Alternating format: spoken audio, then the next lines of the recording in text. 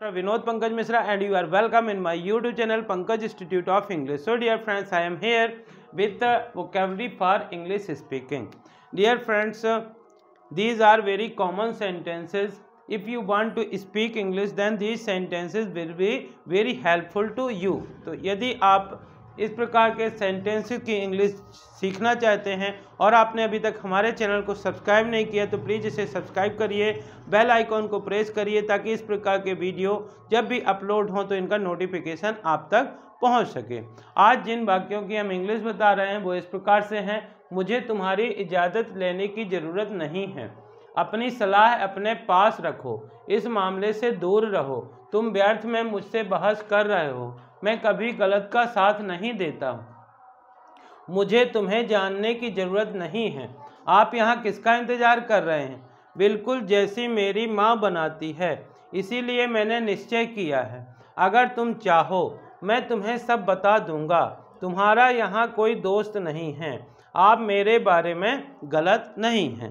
तो dear friends एक एक करके इनको देखते हैं। जब लोग बोलते हैं कि क्या आपने इस प्रकार के सेंटेंस बोलते हैं, क्या तुमने मेरी इजाज़त ली? और आप उनसे बड़े होते हैं या आपको इजाज़त लेने की ज़रूरत नहीं होती है तो आप बोलते हैं, मुझे तुम्हारी इजाज़त लेने की ज़रूरत नहीं है। I don't need to take your permission इसको इंग्लिश में बोलेंगे I don't need I don't need I don't need to take your permission take your permission I don't need to take your permission मुझे तुम्हारी I don't need to take your permission मुझे तुम्हारी इजाज़त लेने की ज़रूरत नहीं है। नेक्स्ट सेंटेंस लिखा है, अपनी सलाह अपने पास रखो. डियर फ्रेंड्स जब हम किसी से कोई सलाह नहीं मानते, मांगते हैं, तब भी जो लोग होते हैं, कुछ लोग हमको सलाह देने लगते हैं। और ऐसे लोगों को हम बोलते हैं कि, मुझे तुम्हारी सलाह की ज़रूरत नहीं है, अपनी सलाह अपने पास रखो। अपनी सलाह अपने पास रखो, इसको इंग्लिश में बोलेंगे keep your advice keep your advice yourself yourself keep your advice yourself अपनी सलाह अपने पास रखो। नेक्स्ट सेंटेंस लिखा है, इस मामले से दूर रहो। कभी कभी हम बोलते हैं कि आप इस मामले में मत सुलझो, ये आपका मामला नहीं है, आप इस मामले से दूर रहो। तो इस मामले से आप दूर रहो। इसको इंग्लिश में बोलेंगे कि stay away stay away from this matter stay away from this matter इस मामले से दूर रहो। नेक्स्ट सेंटेंस लिखा है, तुम व्यर्थ में मुझसे बहस कर रहे हो। जब आदमी असलियत या रियलिटी नहीं जानता है तो बिना मतलब में झूठी बात को चिल्ला करके, बहस करके उसको सही करने की सिद्ध करता है।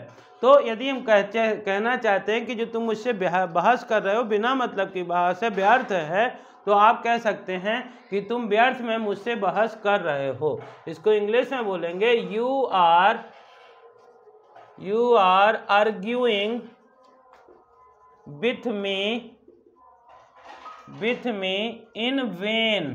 V A I N vain in vain का मतलब होता है व्यर्थ में। तो तुम मुझसे व्यर्थ में बहस कर रहे हो। You are arguing with me in vain next sentence लिखा हुआ है मैं कभी गलत का साथ नहीं देता। यदि किसी व्यक्ति ने कोई गलत किया है और आपके पास आता है, कहता है, भाई, मैं, मैंने ऐसा गलत किया है, मुझे मालूम है और क्या आप मेरे साथ हो? तो आप बोलते हैं, बोलना चाहते हैं कि मैं कभी गलत का साथ नहीं देता हूँ।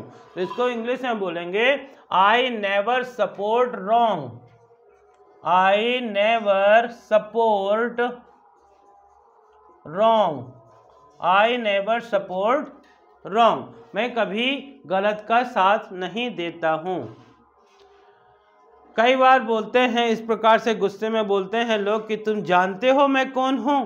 तो उन्हीं की लैंग्वेज में हम जवाब देने के लिए बोलते हैं कि मुझे तुम्हें जानने की ज़रूरत नहीं है। मुझे तुम्हें जानने की ज़रूरत नहीं है। तो बोलेंगे I need not to know you I need not to know you I need not to know you या I don't need to know you इस प्रकार से मुझे तुम्हें जानने की ज़रूरत नहीं है। आप यहाँ किसका इंतज़ार कर रहे हैं? यदि किसी व्यक्ति से आप परिचित हैं और कहीं पर वह खड़ा हुआ आपको दिखता है और आपको लगता है कि वो किसी का इंतज़ार कर रहा है और आप पूछना चाहते हैं कि आप यहाँ किसका इंतज़ार कर रहे हैं तो इसको इंग्लिश में पूछेंगे whom are you whom are you waiting waiting here whom are you waiting here whom are you waiting here आप यहाँ किसका इंतज़ार कर रहे हैं? नेक्स्ट सेंटेंस लिखा हुआ है, जे बिल्कुल जैसा मेरी माँ बनाती है। कभी कभार आप किसी होटल में, रेस्टोरेंट में या कहीं पे जाते हैं और वहाँ की चीज़ें खाते हैं तो आपको वैसे ही लगता है जैसे आपकी माँ ने वो बनाया हो वो आपके मुँह से निकल आता है कि बिल्कुल जैसे मेरी माँ बनाती। ये तो बिल्कुल वैसे ही है जैसा मेरी माँ बनाती है। तो जैसे, बिल्कुल जैसे मेरी माँ बनाती है, इसको बोलेंगे just just like my mother makes. Just like my mother makes. जैसा मेरा, जैसी मेरी माँ बनाती है, बिल्कुल जैसा मेरी माँ बनाती है। इसीलिए मैंने निश्चय किया डियर फ्रेंड्स बोलते हैं कि वहाँ पे बहुत ज़्यादा भीड़ थी, इसीलिए मैंने निश्चय किया कि मैं वहाँ पे नहीं जाऊँगा। या मैंने निश्चय किया कि मैं अगले वर्ष से वहाँ रहूँगा। इसीलिए मैंने निश्चय किया। तो इसको बोलते हैं that's why I have decided that's why I have decided that's why I have decided इसीलिए मैंने निश्चय किया। इस प्रकार से बोल देते हैं। कई बार इस प्रकार के सेंटेंस बोलते हैं, अगर तुम चाहो तो यहाँ रुक सकते हो। अगर तुम जाना चाहो तो जा सकते हो। अगर तुम चाहो तो मैं उसको बुला लूँ। तो अगर तुम चाहो, इसको इंग्लिश में बोलते हैं if you like if you like अगर तुम चाहो। If you like then I will call him यदि तुम चाहो तो अगर तुम चाहो तो मैं उसको कॉल करूँ। इस प्रकार से। मैं तुम्हें सब बता दूँगा। कई बार बोलते हैं कि तुम पहले घर पहुंचो, मैं तुम्हें सब बता दूँगा। या तुम मुझे कॉल करना, मैं तुम्हें सब बता दूँगा। तो मैं तुम्हें सब बता दूँगा। इसको इंग्लिश में बोलते हैं I will tell you everything I will tell you everything I will tell you everything मैं तुम्हें सब कुछ बता दूँगा। नेक्स्ट सेंटेंस लिखा है, तुम यहाँ, तुम्हारा यहाँ कोई दोस्त नहीं है। तुम्हारा कोई यहाँ दोस्त नहीं है। कई बार बोलते हैं कि आपको यहाँ पे अच्छा नहीं लग रहा होगा, क्योंकि यहाँ पे तुम्हारा कोई दोस्त नहीं है। तो बोलते हैं you have no friends. No you have no friends here. आपका यहाँ कोई दोस्त नहीं है।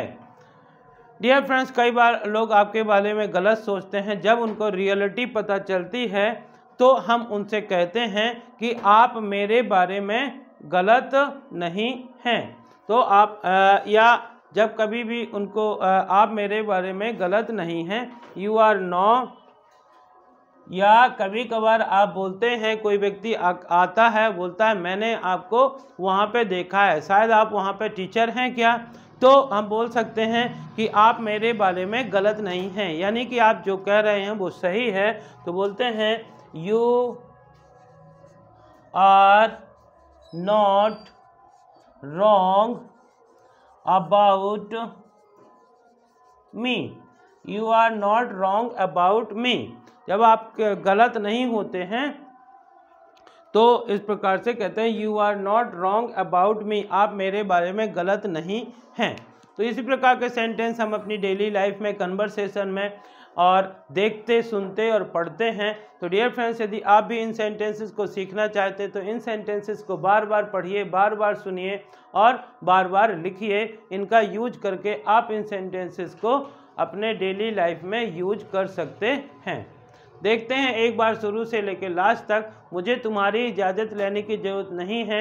I don't need to take your permission I don't need to take your permission अपनी सलाह अपने पास रखो। Keep your advice yourself keep your advice yourself इस मामले से दूर रहो। Stay away from this matter stay away from this matter तुम व्यर्थ में मुझसे बहस कर रहे हो। You are arguing with me in vain you are arguing with me in vain मैं कभी गलत का साथ नहीं देता।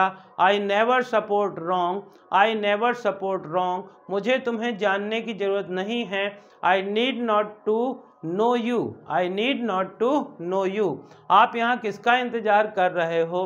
Whom are you waiting here whom are you waiting here बिल्कुल जैसे मेरी माँ बनाती है। Just like my mother makes just like my mother makes इसीलिए मैंने निश्चय किया है। That's why I have decided that's why I have decided अगर तुम चाहो। If you like if you like मैं तुम्हें सब बता दूँगा।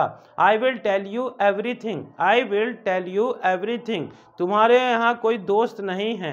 You have no friends here you have no friends here आप मेरे बारे में गलत नहीं हैं। You are not wrong about me you are not wrong about me तो इस प्रकार के सेंटेंस कई प्रकार कई बार हम ऐसा कहते हैं if you like I will tell you everything यदि आप चाहें, अगर तुम चाहो तो मैं तुम्हें सब बता दूँगा। इस प्रकार के सेंटेंस हम लॉन्ग सेंटेंस भी प्रिपेयर कर सकते हैं। तो आई होप डियर फ्रेंड्स कि आपको ये वीडियो लेक्चर पसंद आया होगा, ये सेंटेंस पसंद आए होंगे। यदि पसंद आए हो तो इन्हें ज़्यादा से ज़्यादा लाइक करिए शेयर करिए। और यदि आप चैनल के लिए नए हैं तो प्लीज़ इसे सब्सक्राइब करिए। बेल आइकॉन को प्रेस करिए, ताकि इस प्रकार के वीडियो आप तक पहुँच सके। Thank you for watching